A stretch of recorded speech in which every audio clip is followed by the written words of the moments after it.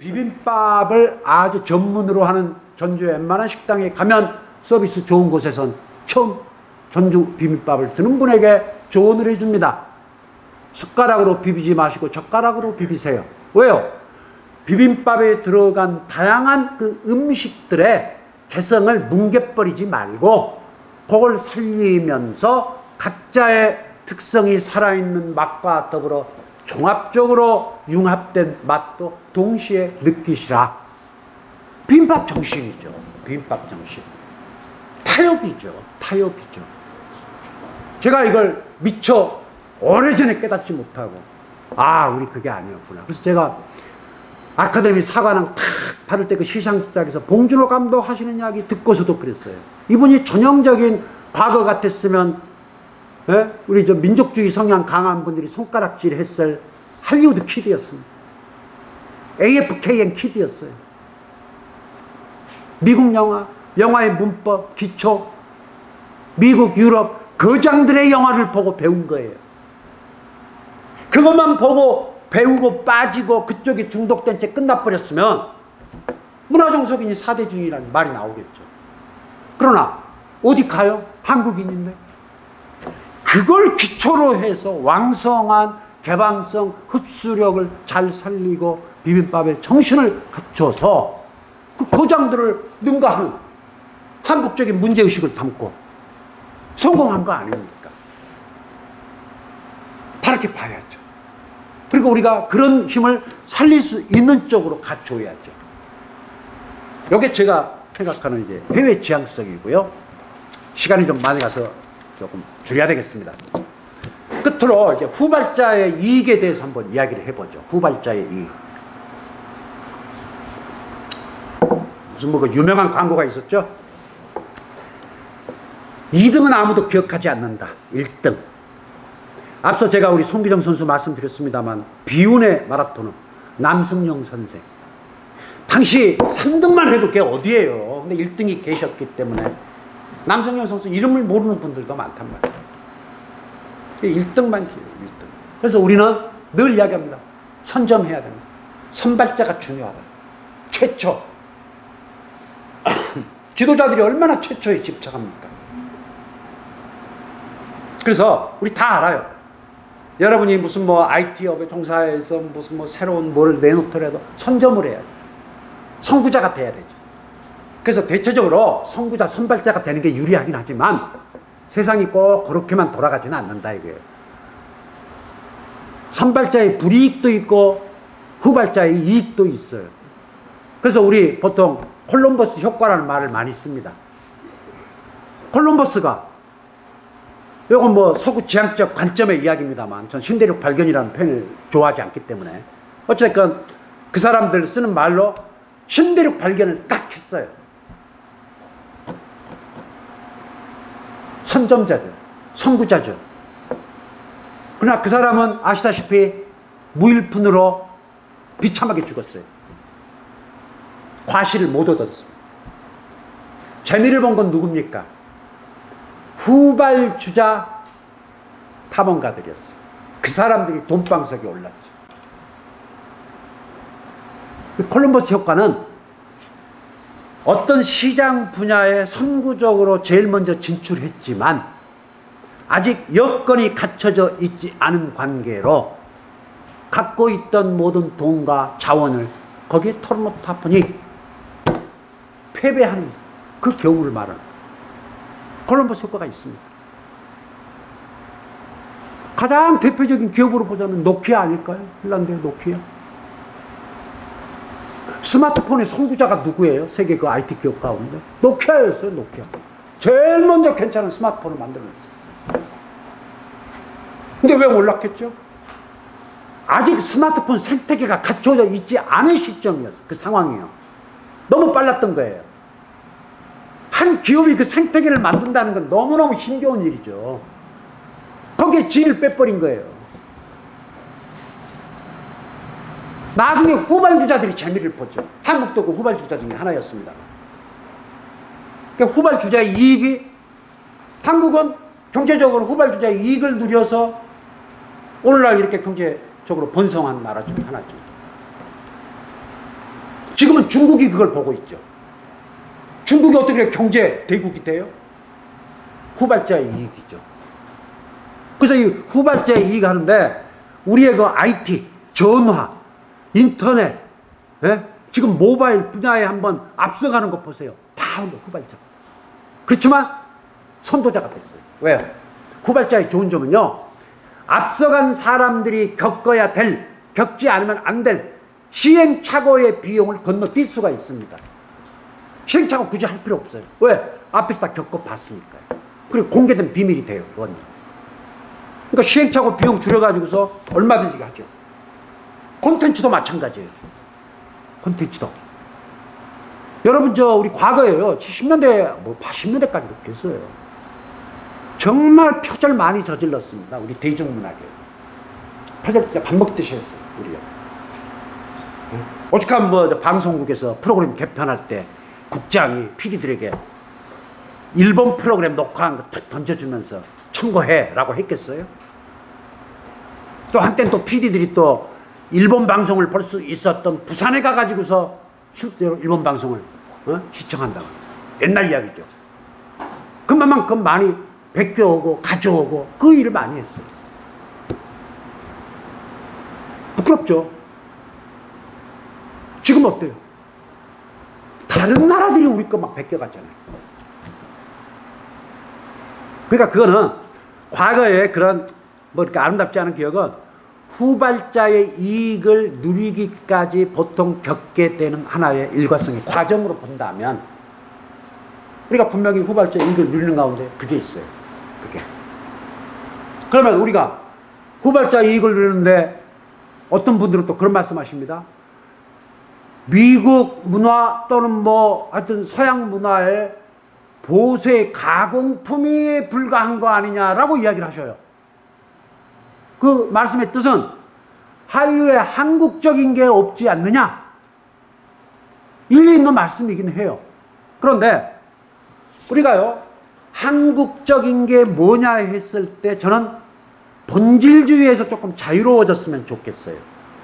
본질주의라는 건 무엇이 있어야만 그 본질, 그 본질적인 게 있어야만 그것이 성립되는 어떤 필수 요소들이에요. 그래서 유럽적인 게 무엇인가? 유럽이라고 이야기할 수 있는 핵심 본질이 있다고 보는 거죠. 그래서 본질주의는 사실은 이건 욕먹는 겁니다. 왜요? 인간 세계에서 본질을 잡고 따지게 되면요. 그 본질이 있다고 주장하는 쪽과 다른 사람들을 배제하게 돼요. 배제하게 됩니다. 그래서 대부분의 인종 탄압 차별이 본질주의 때문에 일어나요. 그래서 페미니즘에서도 가장 분노하고 비난하는 게 본질주의죠.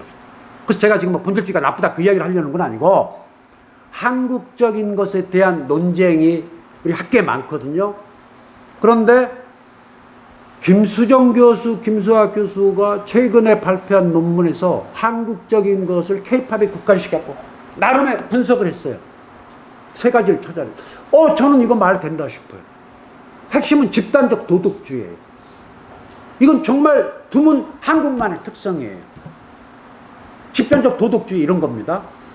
한국의 그 연예 기획사들이요. 대형 기획사들 이렇게 입구 딱 들어가면 아예 거기 크게 써붙여놓은 데가 많습니다. 인간이 되고 스타가 돼야 됩니다. 인간을 그렇게 강조해요. 인성교육을 그렇게 강조합니다. 그거야 뭐 지들 홍보용 차원에서 눈 가리고 아웅하는 것이 정말 그렇겠어? 아니에요. 인성교육을 이렇게 강조해요. 지나칠 정도예요. 폴더 인상. 선배들 만나면 폴, 이, 이게 뭐예요? 무슨 짓이에요? 우리 지금 그렇게 하잖아요. 아이들이 그렇게 교육을 받았어요. 어? 선배를 보면 푸시 인사하고 뭐. 이렇게 하잖아요. 그 어떤 분이 그런 글을 썼어요. 한류, 한류 어쩌고, 뭐 아이돌 어쩌고 하는데 이건 조폭 문화다. 이, 이, 이게, 이게 무슨 짓이냐. 여러 개 또 군기가 과거에 있었잖아요. 어? KBS 옥상에 올라가서 그냥 막 몽둥이로고 후배들 쳤던 개그맨 그 폭행 사건도 있었고 과거에 지금은 아닙니다만 그래서 이게 좋다는 앞에 떠나갔고 그런 그 인성교육을 강조를 하고요. 요게 콘텐츠에 그대로 나타나요. 콘텐츠에. 우리나라에 세계급 스타들이 있죠. 보통 서양에선 대중문화계 스타가 되면요. 자기만의 세계를 추구하면서 술, 마약, 뭐 음주 마약에서부터 일탈 뭐 아주 희한하게 갑니다. 뭐 신비주의 컨셉 유지하고요. 자기만의 세계로 가요, 막. 한국에서는 안 돼요. 끝장나거든. 아시죠? 가사가요. 되게 바람직해요. 그래서 이런 말을 해요. BTS의 세계적인 인기. BTS는 자기 개발서의 모범이다. 살아있는 자기 개발서다. 왜요? BTS는 언더독 시절을 겪었어요. 언더독의 아픔을 이야기해요. 힘을 내라. 그러니까 나는 이분들이요. 세계 청년을 대표한지는 못한다 하더라도 한국 청년들에 대해서 이야기할 암묵적 자격을 가졌다고 봐요. 노랫말에서 보면 그게 다 드러나요. 자기 개발. 프랑스에서 한류 연구 많이 하신 분이 서울대 홍석경 교수가 유럽 쪽에서 한류를 어떻게 보는가 하고 봤더니 유럽인들은 가장 좋아하는 게 한류 케이팝의 건전성. 자식이 케이팝을 좋아하면 믿고 맡겨도 돼요. 냅둬도 돼요. 이상한 대로 안 빠진다는 그게 있죠. 세 번째로요. 연, 연결되는 겁니다. 우리나라처럼 연예인을 공인이라고 못 박는 나라가 어디 있습니까? 연예인이 왜 공인이에요? 우리가 공인이냐 아니냐는 건 명예훼손법에서 그거를 섬세하게 따지는 경향이 있는데 공인적 요소가 있는 저명인사예요. 그거는 명백한 공인하고는 다른 기준에 의해서 평가받는 겁니다. 공인이 아니에요. 그런데 연예인들도 또 이렇게 공인 공인하면서 공격해 되니까 세뇌돼 가지고서 공인으로서 제가 잘못했습니다. 왜 공인이에요? 한국처럼 연예인들에게 공인을 앞세워서 엄격한 도덕률을 요구하는 나라가 또 있을까? 정말 이건 희한해요. 어? 정말 연예인 하기 해먹기 힘들겠다 그 생각 들어요. 뭐 조금 말 한마디 잘못했다가 그냥 막 악플 세례 받기 시작하면 저 정도는 사과 안 해도 될 것 같은데 그냥 잘못했다고 빌고 빌지 않으면 살아남기가 어렵고 그러니까 그 집단적 도덕주의가 좋기만 한 건 아니라는 거죠. 여기 케이팝의 한국적인 게 여기 있다. 음? 뭐 이제 그렇게 보기도 하고요. 근데 제가 이제 이야기를 마무리 짓기 위해서 후발자의 이익이 있었으면 세상에 그렇게 거저먹었겠는가. 아닙니다. 후발자의 고통이 있었어요, 우리가. 우리 그거 알아야죠. 예? 한류 분야에서 그 성공한 뭐 기업가들, 연예인들, 정말 뼈 빠지게 고생한 그게 있단 말이죠. 예? 후발자의 고통. 지금이야 뭐, 저, 저, 방탄소년단 뭐, 어, 청와대 거기 행사에 나가준 것도 청와대가 고마워할 정도로 세계적인 스타가 됐습니다만, 데뷔 8년 차예요, 이분들이요. 방탄소년단이. 2013년에서 조금 이름이 알려지기 시작한 2016년까지 요한 3년간 말도 못한 순환과 고통을 겪었습니다. 왜냐하면 그 BTS 관련 책들이 여러 권 나왔어요. 제가 다 읽어봤더니 좀 몰랐죠. 아, 이렇게까지 당했었나? 그러니까 제가 아까 말씀드린 한국 팬덤 문화의 부정적인 측면인데 다른 팬덤은 그냥 상호 존중하면 될 텐데 깎아내려요. 흠집을 잡아요. 아주 안 좋은 그 문화가 있습니다. 근데 아시다시피 방탄소년단은 대형 기획사 소속이 아니라 어? 중소기업 지금이야 뭐 빅히트 엔터테인먼트가 이제 뭐 어, 엄청나게 커져버렸습니다만 그땐 중소기획사죠. 그래서 그때 가장 많이 떠들었던 말이 어? 덕질 할 맛 안 나게 생긴 중소 아이돌 그렇게 폄하하고 공격하고 비난하는 이 비난과 공격이 워낙 심했기 때문에 아미에 가입했다가 떠난 사람들도 그렇게 많았다는 거예요. 그리고 이때 이 방탄소년단 멤버들이 겪었던 고통, 그게 노랫말에 그게 나옵니다. 노랫말에. 그걸 보고 쓰신 분의 이야기를 제가 대신 전하는 거예요. 제가 노래 듣다 느껴서 받아쓴 게 아니라. 응? 뭐 그냥 부지기수로 땜빵 그거 어? 아 잘리기도 했고 페이로 나가기로 돼 있었는데 어디 방송에 부지기수로 잘리고 땜빵은 우리의 꿈이고 뭐 심지어 뭐 알렘 같은 경우는 올레이즈라는 곡에다 그런 말을 하잖아요. 오늘 아침 내가 눈을 떴을 때 죽어버렸으면 좋겠어. 죽었으면 좋겠어. 그 과정을 거친 후발자의 고통이 있었다는 거예요. 한국에 여기까지 오기까지 얼마나 많은 고통과 희생 그걸 겪었습니까? 우리가. 그러니까요. 어떻게 보면요. 한류의 그 길하고요. 한국이 걸어온 길하고 평행이 이루어집니다. 언더독으로서 일어나기까지 그 과정. 같은 한국 내 현상이긴 합니다만 동병상련하고 아 정말 대단했고 그럼 우리가 이제 오늘날 한류로부터 뭔가를 배워야죠. 한류로부터. 한류로부터 배울 게 뭘까? 제가 딱 한 가지만 조금 말씀드리고 싶어요. 제발 요거 하나만 좀 해보자. 강복기 호소하고 싶어요. 우리가 다른 분야에서 후발자 이익을 누렸는데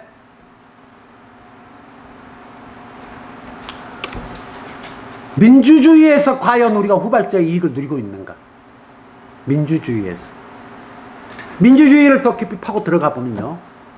우리가 차별 없이 공정하게 살아가는 세상을 꿈꾼다고 한다면 서울과 지방이라고 하는 이 이원적 구조가 야만적인 것일 수 있다는 데에 눈을 돌려야 돼요. 그러나 저는 지금 이 구조를 만든 서울 권력, 중앙 권력, 그, 그 이야기를 하려는 게 아니에요. 서울과 지방의 구도에서 보면 지방이 후발자겠죠? 그러면 저는 지방에 살고 계신 분들한테 호소 겸 한번 이야기를 하고 싶은 거죠.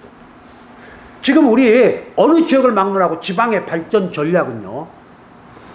강력한 정치 권력, 경제 권력을 갖고 있는 중앙과 어떤 식으로건 연계의 줄을 맺어서 우리 지역이 득을 봤으면 하는 게 기본적인 발전 전략이에요. 저는 안 된다고 보는 거예요. 그런 식으로 우리가 지난 70년을 해왔어요. 그럼 이제 다른 방식을 시도해 볼 때가 된 거예요. 우리가요. 뭡니까? 지방이 혁신의 공장이 돼야 돼요. 지방이요.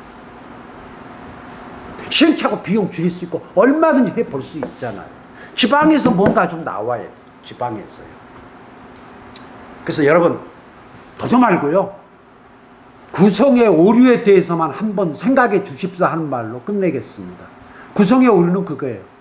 지방민의 이익과 지방의 이익이 같지 않아요. 요거 명심하시면서 요 불일치의 해법을 찾겠다고 드는 순간 전 지방이 달라지고 대한민국이 달라진다고 봐요. 지방에 사는 분들이요, 자기 자식을 서울 명문대에 보내는 건 그 가정의 행복이고 축복이고 이익입니다. 가령 전라북도에 살고 있는 모든 학부모들이 자식들을 다 서울 명문대 보낼 수 있다면 전북 도민의 지방 이익이죠. 그러나 그 이익은 동시에 전라북도라고 하는 여기에 치명적인 타격이에요. 왜요? 정말 속된 말로요. 전라북도엔 쭉쟁이만 남은 겁니까? 지방엔 쭉쟁이만 남은 거예요. 미꾸라지만 남고 영은 다 서울로 차출해 가야 됩니까? 이거 아니잖아요. 네? 게다가 모두가 다 서울로 갈 수 있는 거 아니잖아요. 그러면 가정 개인 차원에선 좀 그렇게 하시라고 그래요. 박수 쳐요. 주변에서 누가 자식이 서울 명문대 갔다 그러면 어 축하하고 박수 치죠. 그거야 격려해야 될 일이죠. 전 그걸 문제 삼는 게 아니라 그건 각자 가정 개인 차원에서 알아서 할 일이니 적어도 지역의 공적 영역에선 고민을 비전을 모색해야 된다는 거죠. 아니 요즘 세상에 지역 발전이 싱크탱크 대학 발전 없이 어떻게 이루어집니까? 에? 대학이 고용 창출의 중요한 근거지로 전 세계적으로 지금 올라가고 있는데 그 싱크탱크를 완전히 스스로 죽여버리고 다 서울로 보내겠다고 하면서 뭘 우리가 얻을 수가 있겠어요. 그래서 공적 차원에선 그 문제의식만 가져도요, 당장 전국에 있는 지방에 고등학교 교장 선생님들 생각을 바꿔주셔야 돼요. 제발 입시 시즌에 학교 홈페이지에 그거 올리지 마세요. 예? 지역 대학 이름도 올려주시든가요. 제가 우리 전라북도 봤더니 전북대 안 넣어줘요. 서울대, 연구대, 아, 전북대도 넣어주죠. 의대. 아, 이거 아니잖아요. 그러니까 학생들 말 들어보면 학생들서부터 공부 잘하는 학생 위주의 풍토를 조성해 버리잖아요. 이거 얼마나 국가적 낭비고 반인륜적인 행위입니까? 예? 이거는요, 입시 정책이 잘못됐고 국가가 책임있고 아닙니다. 그렇게 미루기 시작하면요, 우리 시민들, 개인이 할 수 있는 건 아무것도 없어요. 모든 게 구조 탓이고, 모든 게 시스템 탓이고, 내가 할 수 있는 건 아무것도 없다고요? 아니, 민주화를 여기까지 이뤄놓고, 이 놀라운 압축 성장의 발전을 이룬 대한민국의 국민이, 내가 할 수 있는 건 아무것도 없다고 그래버리면 어떻게 됩니까? 달라질 수 있잖아요. 왜 우리가 한류에 열광하는 것만으로 끝내지 말고, 한류가 중요한 그 발전의 동력으로 삼았던 후발자의 이익을 우리가 조금 누려볼 수 있게끔 고민을 해야 되지 않을까요? 언제까지 앞서가는 쪽에 줄을 대가지고 잘 해보자. 아이고, 지난 세월 그렇게 그 방법을 써서도 이 모양 이 꼴이면 그렇지 않습니까? 지방이 과거 10년 전, 20년 전, 30년 전 예전에 비해서 훨씬 후퇴하고 지금 지방 소멸이 임박했어요. 저는 우리 그 지방 소멸에 대한 고민의 기회로 한류를 보면서 한번 연결시켜 보자. 일단 이걸로 제 강의 끝내겠습니다. 고맙습니다.